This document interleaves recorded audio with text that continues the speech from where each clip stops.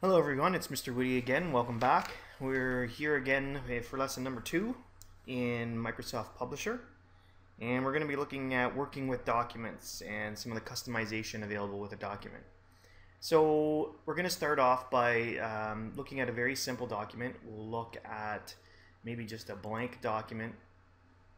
And you know, we, there's some default things that we can do with this blank document that allow us to kind of customize the way it's going to look and also customize the, the you know the outcome of what we're going to get.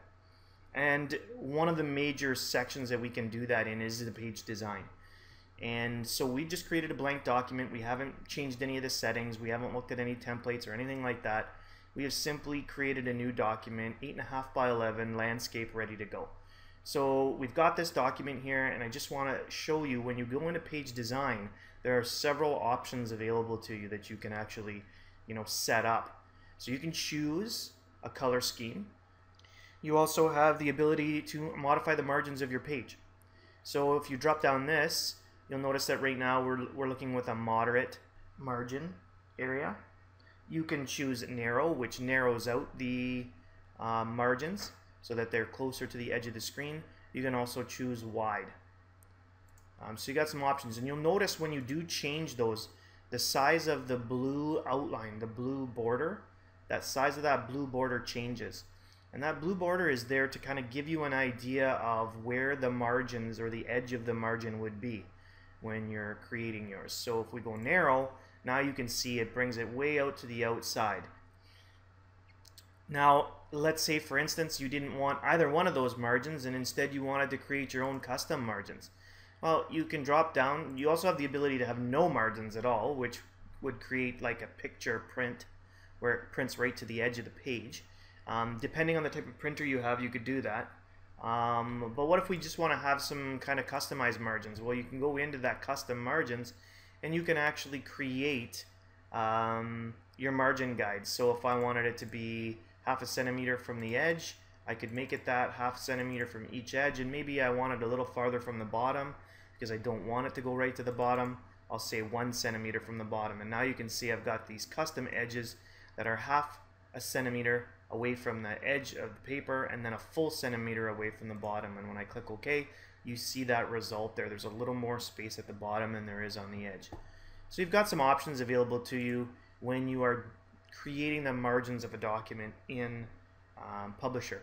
Now the margins of a document in Publisher don't really matter too much because you can put an object over the edge of the margin, um, but they are more like a guide. They help you kind of figure out where it is that you want to put it. Um, you can also change the size of the page. So right now we're in that 8.5 by 11 sheet, that letter sized sheet. And you notice that I'm working in centimeters. I could be working in inches as well to make it easier. Most of us know paper size is based on um, inches, but um, I'm working in centimeters, so we have the option to change the paper size here to whatever we want.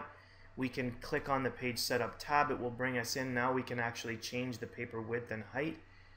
Okay, we can actually modify it to be exactly what we wanted as far as centimeters or inches. We can create the the, the size of paper that we want to create depending on what it is that we're trying to create. So if we wanted to make multiple cards on a page, let's say, we could do it just by changing, you know, the paper size. So now I've got, you know, nine centimeters height and, um, you know, maybe change the width down a little bit and we can maybe fit like nine. So now we could fit actually nine sections on one eight and a half by 11. Now when I have changed that and I click OK, um, it's only going to give me a single document. It's only going to give me a single document, but you'll see that the widths are, everything is kind of aligned the right way. So this is in centimeters, so I'm looking at, you know, 7 centimeters wide um, by about um, 9 centimeters high. So the, the ruler will adjust. This looks like it's an 8.5 by 11 sheet of paper, but it's not. It's actually a much smaller um, smaller sized image. So that's margins um, and paper size. I'm going to return the paper size back to um, a, a, normal size. So, so now we're back to that 8.5 by 11 sheet of paper. the other thing obviously you can do is change the orientation. So depending on what you want to do with the with your image, this is the landscape setup. So now we've got it oriented kind of um, sideways on the page, if you will. Um, or we can bring it back to portrait landscaping, which makes it look more upright and kind of normally what we know. Um, you can also add in pages. So um, if we go to the home, or sorry, go to insert, we can insert a page. So we can insert a blank page. Um, we can also, I'm, I'm just going to actually put some really quick text on here. And now let's say I want to duplicate this object. So I can actually duplicate that page just by click right clicking on the page and clicking insert duplicate page. And now you'll notice that both of these pages both have this is a test in the middle. Um, so I can actually create duplicates of that page over and over again if I wanted to. Either through the insert tab page and insert duplicate page or uh, and, and by the way this first page is blank I can also insert a duplicate of this blank page just by clicking insert duplicate page when this is selected. Now the other thing you'll notice about page navigation over here on the left hand side is not only can you add new pages and add things to that, um, you can actually insert or move these pages around. So let's say we wanted this, this is a test page to be right at the top, so that's the first page that you see in your um, document. So now we've moved it to the front just simply by clicking and dragging it. You can see you kind of get this little ghost image and you can drag it and you can see the bar uh, on your page where you that page is going to be inserted. And when you, if you bring the bar all the way up to the very top it will insert that page at the very top. So now we've got two of our pages here and then we've got two blank pages and then that page there as well. You can also delete a page really easily. Right click delete. Now we've deleted that page. So if we right click we can delete a page and so now we are back to the three pages all with um, this is a test on it. Um, the last thing I wanted to show you in this quick video was just how to create guidelines.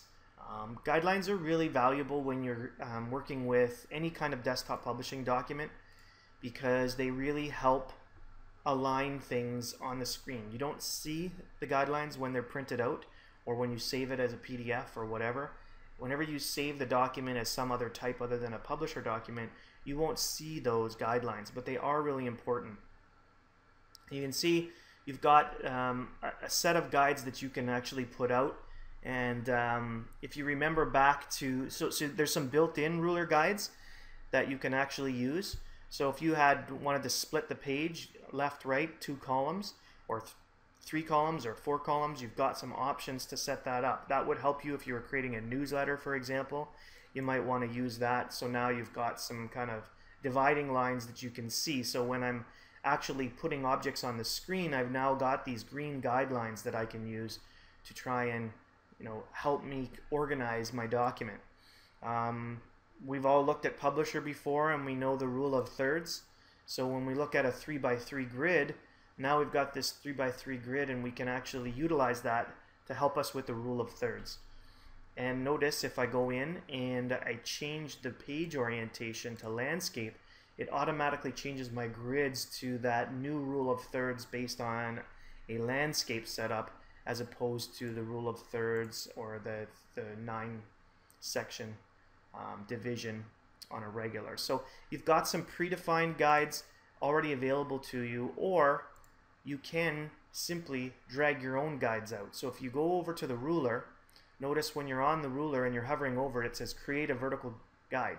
So if we click and drag, you'll notice that now we're dragging this green line out onto the screen and we can see where it is up at the top ruler. Alright, so if I want to put it right on the 10 centimeter mark, um, then I'm going to put it right, kind of plant it right there and bang, now I've got a vertical line right on the 10 centimeter line. Same thing happens for horizontal lines. All you do is click on the ruler and drag and you can actually drag that ruler down to where you want it. And you can leave it in a spot that you want it. And you can have things aligned to the guides. So if I was going to put an image and I'll just show you that really quickly if I was going to put a picture really quickly on the screen so I can actually have that snap to the guides right so see how as I move my picture it will snap to a guide. So now I'm actually, I'm trying to drag it and it won't drag past the edge of that guide even though I'm dragging it a little bit. And that's what the snapping means. So it now snaps. Okay, so snap to guides is also helpful because it can actually have you snapping to a specific area. Um, if you don't like that because you don't want the guide snapping, then just take the align to guides off. And now you'll notice that it won't snap to those objects. So as I'm dragging, it, it doesn't actually stop. It doesn't stop, but you do see when you're actually on an object. Now, what this means when it's clicked align to objects, if we insert another object here, so if I insert a separate picture, if you notice now, see that pink line that comes up that helps us align? Now we know that these two images are perfectly aligned vertically. So we can make sure that our images are kind of lined up in appropriate ways. Um, if we do it this way, now you can see that pink line runs down from the bottom of the objects and it, we actually, it will snap right to the edge of that so that things aren't um, overlapping. And we can actually get rid of that simply by going into those, ticking off that check mark. And now you notice, even though I'm coming close, it doesn't align to the objects. Um, so personally, when I'm using it, I really do like to have the snap to objects set so that it will actually are aligned to objects so that it will line my things up and I can actually see those little guidelines. Okay, so that's lesson two, just kind of working with documents and some customization that you can apply to documents. Uh, really simple stuff, stuff that you do need to know though to work forward with Publisher.